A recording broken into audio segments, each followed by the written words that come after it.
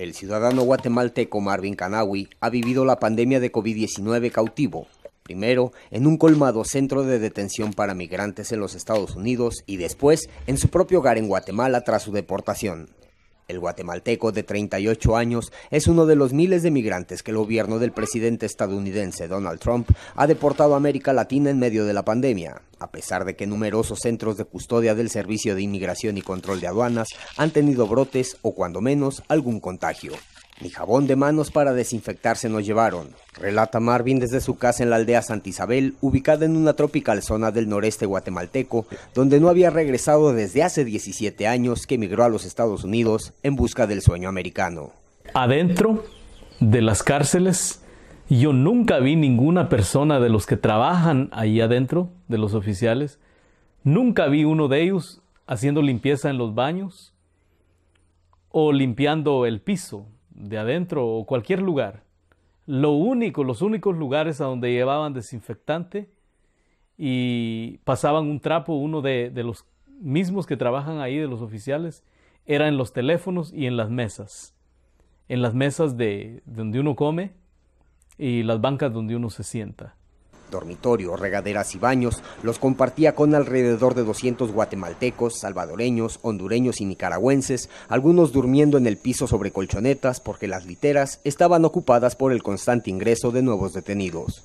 Cuando el brote del virus aceleraba en Estados Unidos, el país más afectado por la pandemia a nivel global, Marvin estaba en un centro de detención en el suroriental estado de Luisiana. Cuando llegó al hogar donde se crió, a siete horas en automóvil de la capital guatemalteca, su madre, Mónica, una mujer de 78 años, casi ciega por diabetes, lo abrazó y lloraron juntos, ya que habían pasado 17 años de no verse. Viene en camino, decían, pero en avión. ¿Y cuándo va a llegar aquí? Yo preguntaba y no me decían. Que sí, porque estaba detenido allá, es que no, no venía luego aquí. Me decían mis amigas, mis vecinos, mis hijas, tenga paciencia mamadita, ya va a llegar ya. Pero vecinos de la pequeña comunidad que vive del ganado y del cultivo de frutas tropicales temían verlo en la calle. Incluso hasta un amigo de su infancia le negó un abrazo, pese a que Marvin le aseguró que estaba sano. El municipio de San Luis, donde está Santa Isabel, registra solamente el contagio de un policía que contrajo el virus en otra localidad, pero la población está temerosa y le asusta la llegada de personas. Se ha dado el caso del coronavirus aquí en San Luis en dos personas y se sospecha de un grupo más, ¿verdad?, que están en cuarentena. Entonces eh, las autoridades han tomado las medidas eh, necesarias de acordonar el área central, donde no puedan entrar vehículos, motos y carros.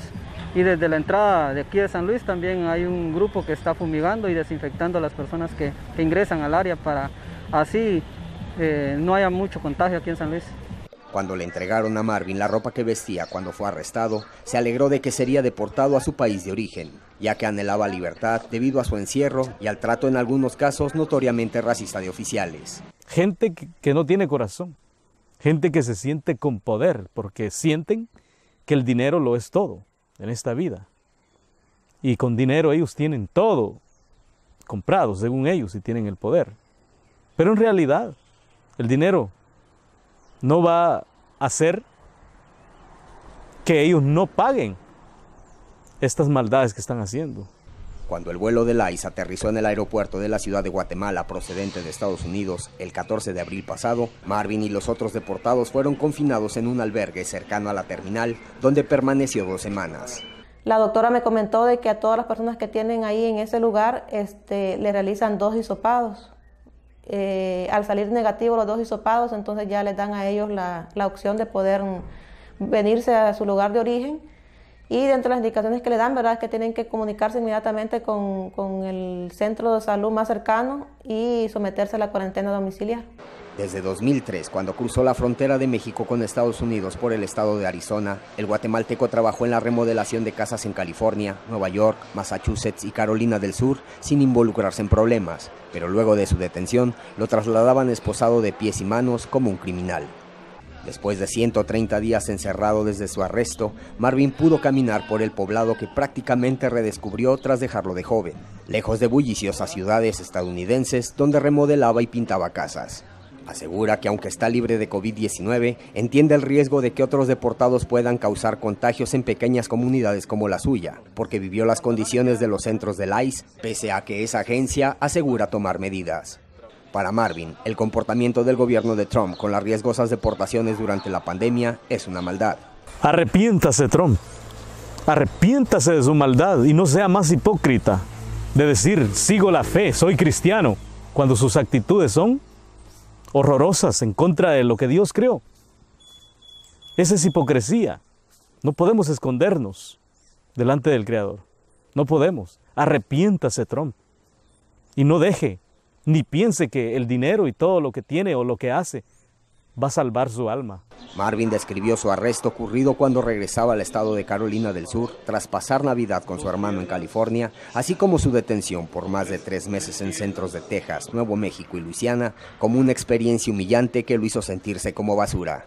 Con información de la oficina en la ciudad de Guatemala, Noticias Xinhua.